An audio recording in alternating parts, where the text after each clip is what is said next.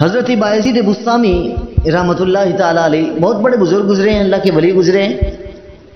इमामुल औलिया का उनको लक़ब दिया जाता है। और अलिया का जो मकसद होता है ज़िंदगी का, वो सिर्फ़ यही होता है कि लोगों की मखलूक की असलाह की जाए।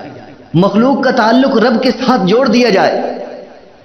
एक अल्लाह वाले तो इसी ज़मीन के अंदर, एक जैन के अंदर बात आ गई कि एक अल्लाह वाले एक अल्लाह वाले को लोगों ने देखा कि बाज़ार के अंदर खड़े हुए हैं, बाज़ार के अंदर खड़े हैं, रो रहे हैं।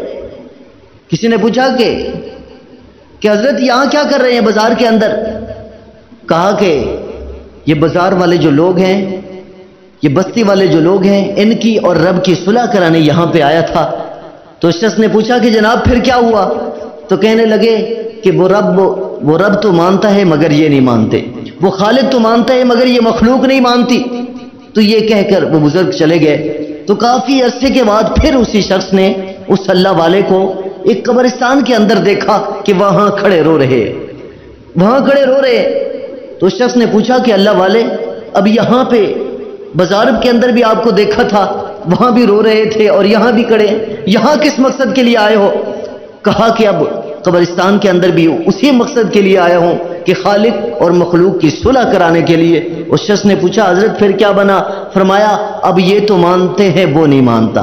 कि अब वो मालिक नहीं मान रहा, ये तो मान रहे हैं कि हमारी बख्शिश हो जाए। इसलिए कि उस रब ने एक ज़िंदगी में मौका दिया था, उस मौके को गवा दिया इन लोगों ने। अब तो मैं अर्ज़ कर रहा था, हज़रत बायजीद बुस्तामी रहमतुल्लाह तो अलिया अल्लाह जो होते हैं, अल्लाह के जो वली होते हैं, उनकी ज़िंदगी का मकसद ये होती है, ये यही होता है कि मखलूक का ताल्लुक रब से जोड़ दिया जाए। मखलूक का ताल्लुक खालिक से जोड़ दिया जाए। तो हज़रत बायजीद गुस्तानी के पास लोग आए और आकर कहने लगे कि हज़रत, जिस गुलशन को आपने महकाया था, जिस गुलशन को दिन रात आपने सजाया था और दिन रात जो आपने लोगों की इसलाह का काम किया था, आज वो गुलशन उजड़ रहा है। वो गुलशन वैरान हो रहा है। लोगों तो हज़रत बायजीद बुस्तामी ने पूछा कि क्या हुआ? तो लोग कहने लगे कि इलाके के अंदर एक फाहिशा औरत है। तो वाइफा औरत है एक, और उसने डेरा लगाया है। लोगों को गुमराह कर रही है, अपने जाल में फंसा रही है। तो हज़रत बायजीद बुस्तामी ने पूछा कि उसका डेरा, उसका घर किस जगह पे है? तो लोगों ने बताया, फलां जगह पे उसका घर है। तो हज़रत बायजीद बुस्तामी उसके घर पे चले जाते हैं। उसके दरवाजे की दहलीज पे जाके बैठ जाते हैं। वो ऊपर बाला खाने के अंदर वो औरत सोई है, अपने गाहकों का, अपने मिलने वालों का इंतज़ार कर रही है। हज़रत बायजीद बुस्तामी उस औरत के दरवाजे की दहलीज पे बैठे हैं, तस्वीर पकड़ के अल्लाह अल्लाह कर रहे हैं।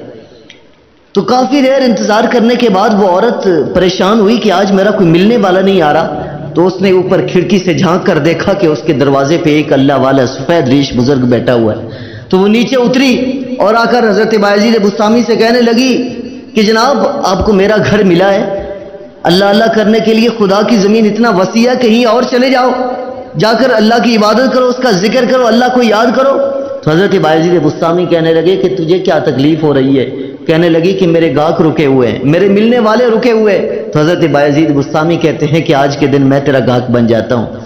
तो वो औरत हज़रत बायजीद बुस्तामी को लेकर ऊपर चढ़ रही है सीढ़ियों पर और जब ऊपर पहुँचते हैं तो हज़रत बायजीद बुस्तामी कहते हैं कि देख, आज के दिन मैं तेरा गाहक हूँ, तेरा मिलने वाला हूँ। लेकिन एक बात है कि जिस तरह मैं करता जाऊँ, तू भी मेरे साथ उसी तरह करते जाना।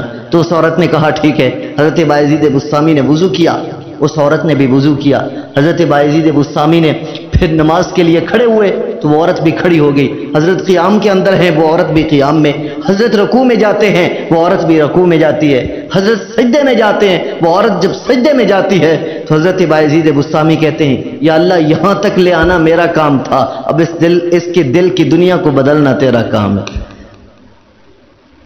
तो लिखा है तारीख ने कि वो औरत जब सर सज्जे के अंदर उसने रखा तो एक ख्वाहिशा थी। सज्जे से सर उठाया तो वलिया बन चुकी थी।